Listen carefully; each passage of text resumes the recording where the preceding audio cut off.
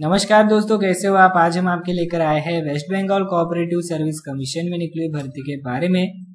West Bengal cooperative service commission में भर्ती निकली है और इस पोस्ट को यदि आपको अप्लाई करना है तो ये वीडियो अंत तक ज़रूर देखिएगा।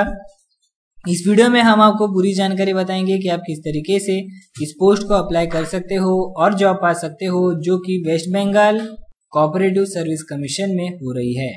तो आगे जाकर इस जॉब के संबंधित पूरी जानकारी प्राप्त करने के पहले हम आपको बताना चाहेंगे कि यदि आपने हमारे चैनल को सब्सक्राइब नहीं किया है तो तुरंत इस लाल सब्सक्राइब बटन को प्रेस कर कर हमारे चैनल को सब्सक्राइब करें और साथ ही साथ बेल आइकन को भी प्रेस करें, क्योंकि यदि आप बेल आइकन को प्रेस करोगे तो ही आपको जॉब्स के जो अपडेट्स है आने वाले हैं, वरना आपको जॉब्स के जो अपडेट्स है नहीं आएँगे और आप लेटेस्ट वैकेंसी से वंचित रह सकते हैं। तो दोस्तों, जैसे आप यहाँ पर देख सकते हो सीओओपी यानी कि West Bengal cooperative service commission में भर्ती निकली है। और ये जो भर्ती है accountant manager accountant assistant internal auditor chief executive officer के पोस्ट के लिए हो रही है। एग्जैक्ट नंबर ऑफ़ वैकेंसीज कितनी है बताया नहीं गया है। वेरियस वैकेंसीज या वेरियस पोस्ट कहा गया है। पे स्केल आपको प्रति माह अच्छी खासी मिल जाएगी जो कि three thousand six hundred and sixty rupees से thirty seven thousand six hundred तक है। एजुकेशन क्वालिफिकेशन इस पोस्ट को अप्लाई करने के लिए।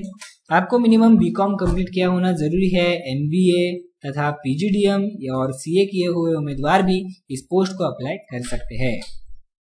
एज लिमिट 18 से 40 साल है, यानी 18 से अधिकतम 40 साल के उम्मीदवार इस पोस्ट को अप्लाई कर सकते हैं और उनका एप्लीकेशन निश्चित कर सकते हैं।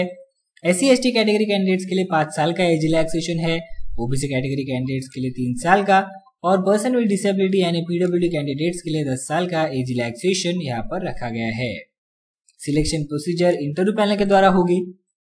यहाँ पर आपके एप्लीकेशन फ़ी ली जाएगी जो कि टू हंड्रेड ट्वेंटी रुपीज़ है और fifty rupees application fee S C category candidate तथा एक्स सर्विसमैन कैंडिडेट्स के लिए रखी गई है। स्टार्टिंग डेट अप्लाई करने के लिए जो है eight twelve two thousand eighteen यानी अठारह दिसंबर से आप ऑनलाइन आवेदन कर सकते हैं। 19 जनवरी 2018 यानी 19 जनवरी 2019 तक आप इस पोस्ट को अप्लाई कर सकते हो।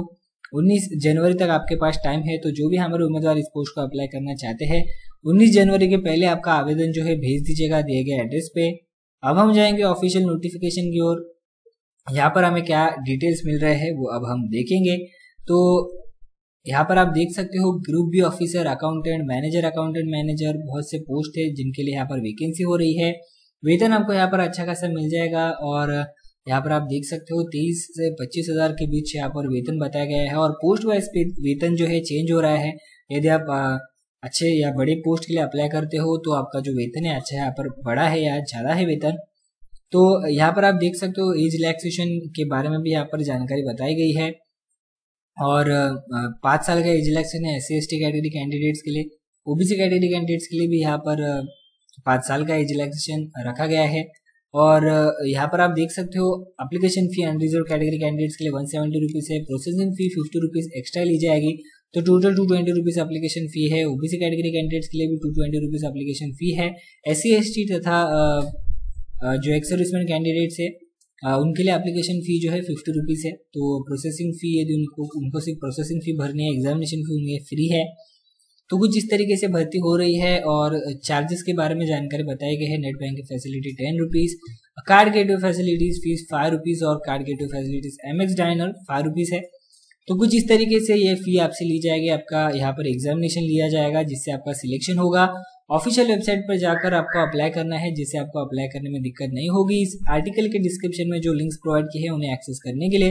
इस वीडियो के डिस्क्रिप्शन में जो लिंक दी है, उसे आप क्लिक करें और आसानी से इस पोस्ट को अप्लाई करें, जो कि West Bengal cooperative service commission में हो रही है। तो जल्द से जल्द आवेदन कर कर आपका अप्लीकेशन निश्चित कर लीजिएगा। आशा करते हैं, ये वीडियो आपको पसंद आई होगी। ये वीडियो आपको पसंद आई है तो लाइक करें और आपके दोस्तों के साथ भी शेयर करें। तो दोस्तों, आशा करते हैं वीडियो आपके पसंद आई होगी। हम मिलेंगे आपके साथ ऐसे किसी और वीडियो में। इस वीडियो को देखने के लिए धन्यवाद।